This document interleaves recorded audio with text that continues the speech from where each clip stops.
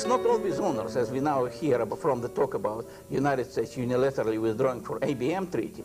But of course, when there is a legal instrument like ABM treaty, it's much more difficult for the, those people in the United States that, who want to send this treaty overboard, you know, throw this treaty overboard, to explain to the American public, American electorate, why the United States should not follow this. And this, this creates, you see, this creates some sort of a potential for, for uh, United States administration adhering to the treaty, which is a legal instrument.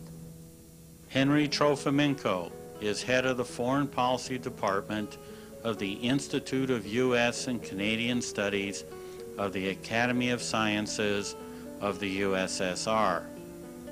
He is also professor of history and diplomacy at the Diplomatic Academy in Moscow.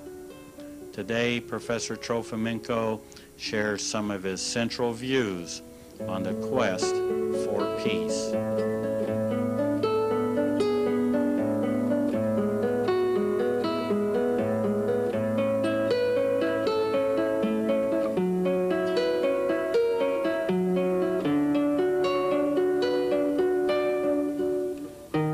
Professor Trofimenko, what is the basis of the national security of the Soviet Union?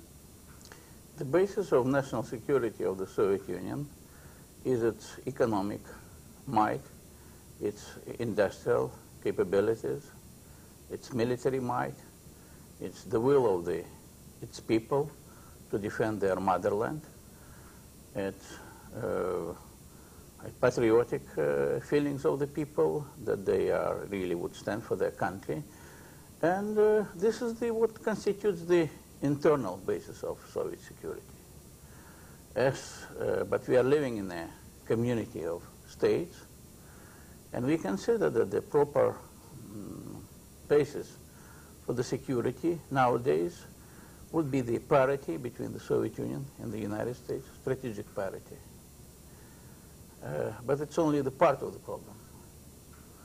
The problem is, you know, that when you are talking about your individual security as an individual, say life insurance, then going around this country, you'd always see that it's a usually mutual life insurance uh, company that insures your life. And the, the insurance is mutual.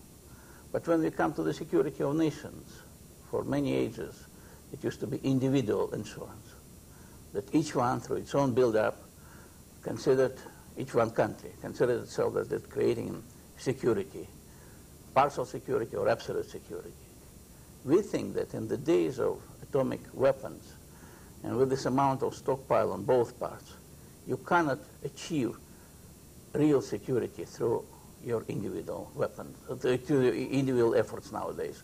The security ought to be mutual and uh, I mean worldwide. But first of all, in order to lay a path to this mutual security, we have to have some deals in cooperation with the United States on the basis of parity and on the basis of, of diminishing the numbers of that parity and actually abolishing the whole class of weapons in order to come to the really minimum level of uh, sufficient security for both our countries and in the process to drag along other powers, great powers and other powers, in contractual arrangements of um, stabilizing the security at the most, at the least levels of, of military armaments. What for you are the legacies of the Reykjavik summit? The legacies of the Reykjavik, Reykjavik summit is that the summit showed that there might be far-reaching agreements between the Soviet Union and the United States of a pioneering nature in really mm, arranging for contractual security, for mutual security, by drastic reductions in uh, mm, offensive weapons, and also by the possibility of uh, cutting or, or, or, or uh, agreeing on not allowing any arms race in any sphere or, or any plane to continue. The legacy since World War II is one of going from essentially no nuclear weapons to a state where there are 50,000 in the world with warfighting doctrines associated with each. As you reflect on the dynamics of the arms race since World War II. What has driven it? You see, it is a very complex question. It's uh, really uh, uh, very difficult to answer in a very short uh, statement. But I guess the uh, the the basic um, reason behind the arms race was, pardon me, you see, I'm speaking to the American audience, but United States striving for Pax Americana after the Second World War, when the United States abandoned its traditional policy of balance of forces and uh, finally thought that the, the, the, situation after the Second World War, when the, uh, all the allies and all the enemies were lying prostrate, and the United States has a power to, to, to sort of to impose its will on the world, uh, made this uh, sort of uh, made the powers that be in the United States to initiate this military buildup because they considered the only obstacle in this view of United States mm, dominance in the world, the only obstacle was the Soviet Union. So we have to push the Soviet Union away, push it out, you know, I don't know how to say it, and to, to build up in order to intimidate the Soviet Union from positions of strength. We have to answer that, and so the arms race, the arms race started. And we were racing all throughout these years, you see, and the, the, the the fact is that at the beginning of this race, the United States was in a much better off position. It really had a monopoly on, on, on nuclear weaponry. It had a monopoly, or, or almost monopoly, on the uh, means of intercontinental delivery of those weapons. And after 40 years of racing, you see, we came that, uh, to the situation when the security of the United States is diminished, not increased. Mm -hmm. And we think it's, a, it's, a, it's, a, it's not a good way to do things. You know, I, I have my, my favorite quote from McNamara. He said when he was still Secretary of Defense, about 20 years ago, it's useless for us, he said, I am quoting from my memory, to spend $4 billion, $40 billion, or $400 billion for each of us and at the end of all this spending, all this deployment, to find ourselves relatively at the same scale on the weights of security as when we started this whole thing. And you see, and the events for the past 20 years, they substantiate that he was absolutely right, you see. So probably this is not the way to find your security. You see, in, when the United States was starting the, the arms race, the United States were striving for so-called absolute security. In the United States documents at that time, the documents of um, National Security Council and, uh, and um, Joint Chiefs of Staff, it was written in this way, you see, that United States has to gain such a position that no nation could start a war against the will of the United States. And really, at that time when I was studying that, it struck me, not against the United States, but against the will of the United States, that the United States would be the sole arbiter for the whole world. You see, this time has long gone. And the inability of United States, or for that matter, the Soviet Union, to gain the upper hand in this competition is one more very powerful argument that we have to, to find our security, first of all, through some mutual undertakings, and then not on the path of incessant arms race one source of the arms race in the United States is the fear of communism, that Khrushchev said he would bury us, that communist ideology is seen as inherently expansionistic. How do you think about that concern? You see, I think that's inflated fear of communism. I guess when the United States started the, the arms race, there was nothing to fear, you know. The Soviet Union could not reach the United States. The Soviet Union could not even have uh, any weapons delivered over the United States. But nevertheless, it was fear of the United States uses, or fear of, the, of communism used as the, as, the, as the pretext for the arms race. You know this unfortunate remark of, of uh, Comrade Khrushchev that was misinterpreted because, of course, Khrushchev was speaking it in a sociological way, that the Soviet Union would sort of uh, provide the better way of life, the better, uh, the better performances economically and so on, and in this way he, it, it would win a, win a, a historic race with capitalism. That was the, the essence of, of, of his saying, not that the Soviet Union would, would uh, sort of kill the United States or bury it in an armed conflict. But that was, unfortunately, it was interpreted in this country as sort of uh, Khrushchev was saying that uh, would bury in, in a military conflict. Even Khrushchev at his time was very much forceful about trying to avoid military conflict, about trying to, to initiate peaceful cooperation with the United States. And you know, we had several years under, uh, during Khrushchev when we were moving towards each other in, in, in, cooperative, uh, in cooperative way and not in an adversarial way. So, but I understand that the fear of, of, of, communism as a fear of imperialism in our country exists. But it's not, the, the, the situation shows that it's not the way the military, the military instruments or the military clashes and, and whatever it is, war fighting, is not the way to solve these problems between us. Because now so many weapons are accumulated that the, in the process of, of, of starting a war, and then uh, we, we, both our countries could perish and uh, civilization would perish. Given that problem, I'd like to return to the fear of communism, which has been a, a basic of the political life in America. Give you some incidents and ask you to share how you think about it. First is what we call the Cuban Missile Crisis, um, which was seen as an attempt to put uh, weapons uh, 90 miles off our coast. How do you think about that as an incident? You see, the problem is uh, that was very regrettable incident, but it ended well.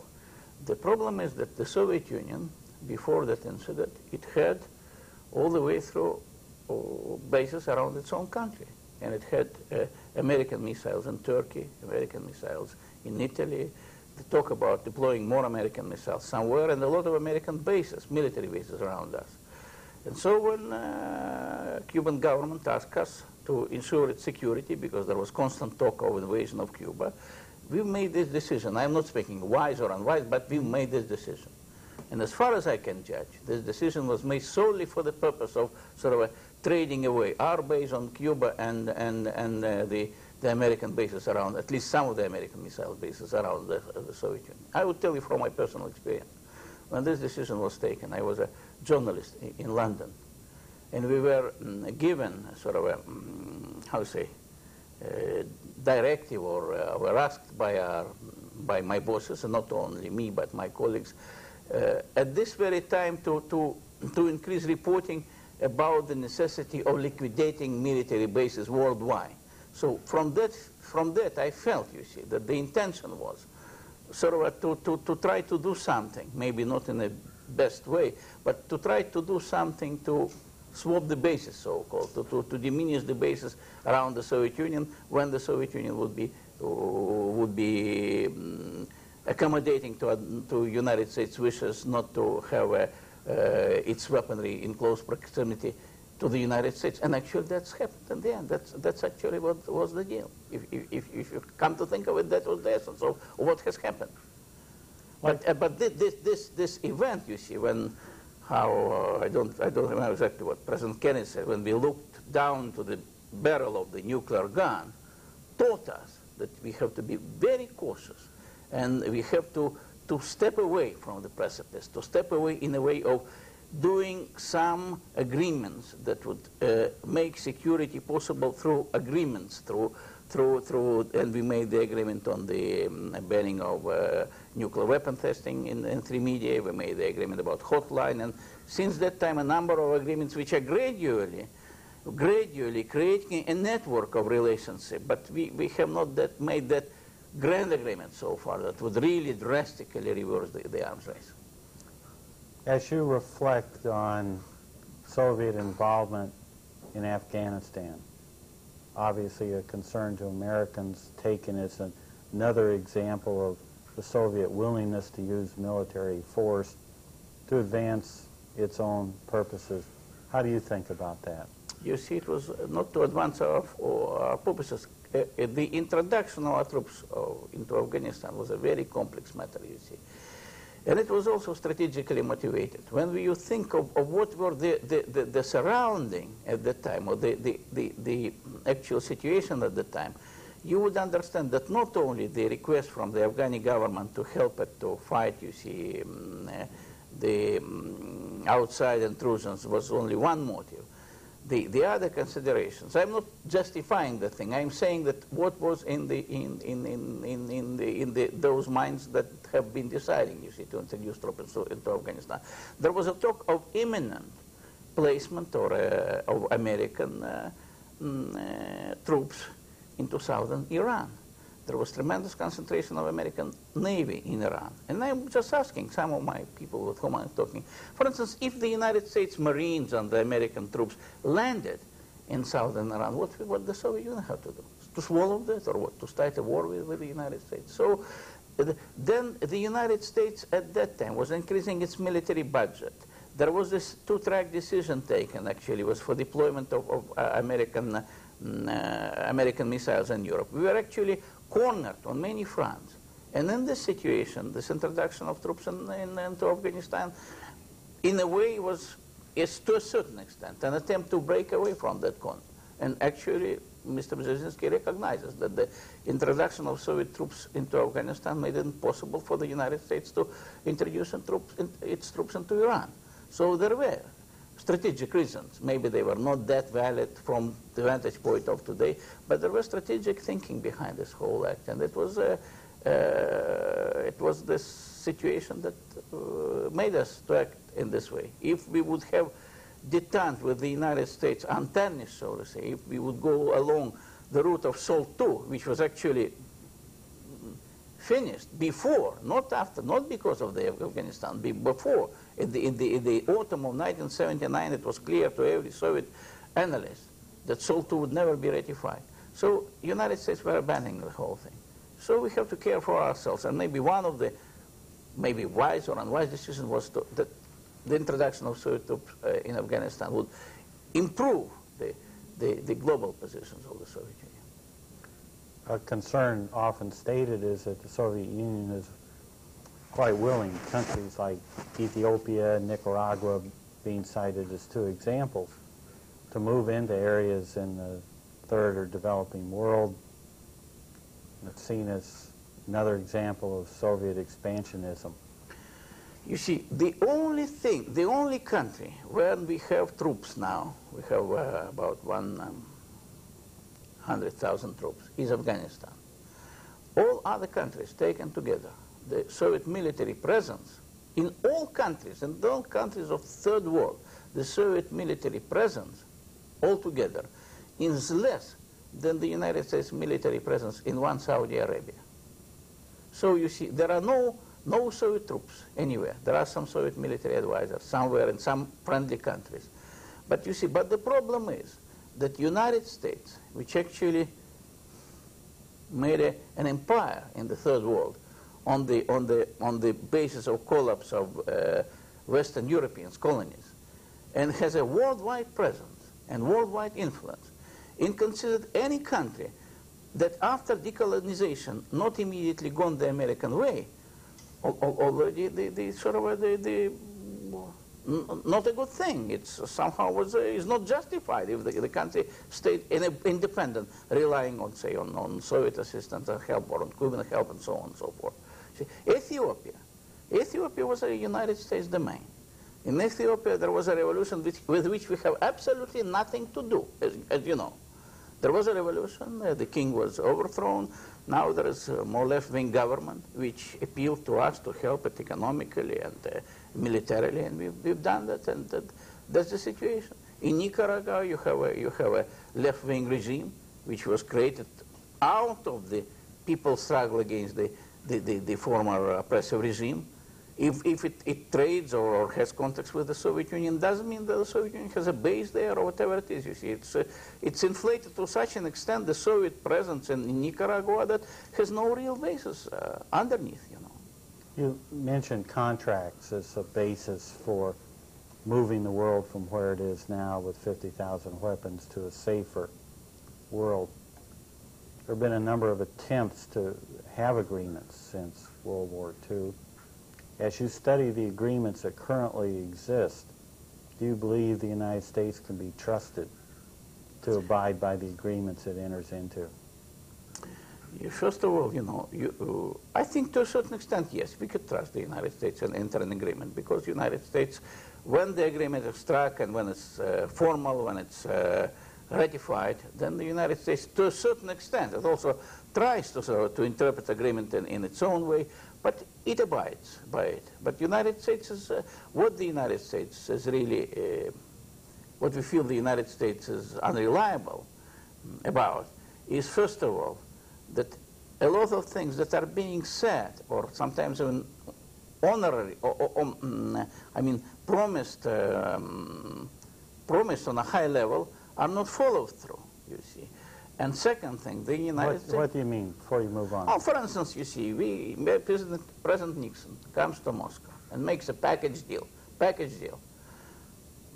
We give some concessions to United States, Soviet Union, uh, America gives some concessions to us. And a part of this package deal is a most favored nations treatment for the Soviet Union, a part of the package. So Nixon returns back to the United States, and this, this promise, which is important for us, is taken out of the package. And that, so th that's the package, but without the, the, the concession of the United States. And we have these tricks constantly, you know, constantly. We make a deal, and then something is taken out. Or more than that, or we make a deal, and something started to be inserted into that, which was not in the deal. For instance, we are now talking about INF missiles. All right, INF missiles, we might make a deal. At the, at Reykjavik, both uh, leaders, you see, agreed that this is possible, you see, then after that, it's agreed to this possible. Now we untie the, the, we, we untie the package for this purpose. I untie the Reykjavik package and say, we, let's do, do, make a deal separate. The moment we untie, United States decides to tie it up. Say, it's also short-range missiles. It's also, you see, it's also conventional weapons. It, it's something else and something else and something else. So on this basis, it's very difficult to deal with the United States.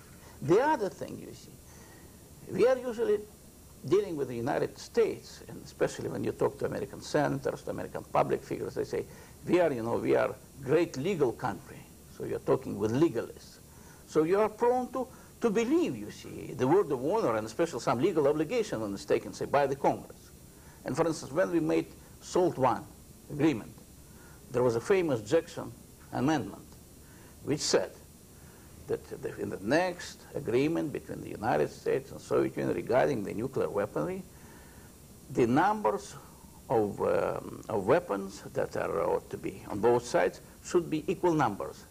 That's inter alia. We should have the same equal numbers of weapons in the next agreement with the Soviet Union. All right, SALT II comes. We are following the Jackson Amendment, and we make an agreement that really provides for equal numbers on both sides. Now, this SALT was not ratified. But nevertheless, Congress um, um, Foreign Relations Committee and Armed Services Committee of the Senate are looking into that. And the Armed Services Committee of the United States Senate comes with a statement that the agreement is not in the interest of the United States because the Soviet Union didn't follow up the Jackson Amendment. And what is the Jackson Amendment? That both sides have equal numbers. They agreed to equal numbers. And the committee says, no, they didn't agree to equal throw weight. But gentlemen, there was no ever mention of throw weight in, in, in, in, in the Jackson Amendment. If you want throw weight, we could go on, we could further um, uh, clarify the agreement, we can make SALT III agreement in which throw weight will be taken into consideration. Or now we are discussing measuring our uh, relative weights not only in the number of launchers, but the number of warheads as well. But you, but you have to take what have you been saying to us? And they've been saying one thing, and when it comes to ratification, they are reversing it. And more than that, the agreement is signed. And actually, for Congress is to ratify or reject it. But Congress starts to, to insert it into, into more and more things, which were not uh, discussed, you see. But we are not, you see, we, we are not Panama. You, you, could do the trick with Panama, you see, to conclude the Panamanian uh, Canal Treaty, and after in the process of, of, of, ratification, to change it to such an extent that you see, as, as the Russians would call, its own mother would not recognize it. You see, we, we, we want to deal it like this. Now, all right, SALT II agreement is non-ratified. Mr. Reagan comes and criticizes it very heavily. He has, it has a fatal flaw, this agreement. I, I, I don't like it. But he follows this agreement. Follows. And at the same time doesn't ratify it. Uh, United States doesn't ratify it. Why? Because it suits the United States. Because on one hand, you have the agreement, Soviet Union is following it, and that's okay. On the other hand, you have unratified agreement, which actually provided for equal, for parity between the Soviet Union and the, in the United States and defined what the parity is. But since it's unratified, uh, President Reagan could say, no, there is no parity between the Soviet Union and the United States. Soviet Union is way ahead. If it would be rat- it would have been ratified, then any guy from the public uh, could stand up and say, Mr. President, how come the agreement says uh, that it's equal? And you say it's unequal, the Soviet Union is ahead. But there is no agreement. There is no legal instrument to refer to. So it's again, you see, you're sort of having a pie and, uh, and eating it at the same time. More than that, uh, if I, you allow me to, to, to proceed with that, President Reagan, he constantly said that sole fatal, fatal flaw of the SALT II agreement is that it's not sort of a curb the arms race, but actually legalized it. That it, I couldn't quote to you exactly, but in numerous pronouncements. In the pronouncement when President Reagan said that the United States would not be de facto following this agreement and withdrawing from it, he said, this agreement was nothing but the legalization for the arms race. And that was a fatal flaw of SALT II treaty. Now, come Reykjavik, and what President Reagan wants to do. He says to Comrade Gorbachev, let's make an agreement about drastically cutting the offensive arms. But let's at the same time give free hands to you and to us to continue arms race in space. Isn't it the same fatal flaw that President Reagan strongly denounced in the previous agreement? That's my question. Can the United States manage its relationship with the Soviet Union?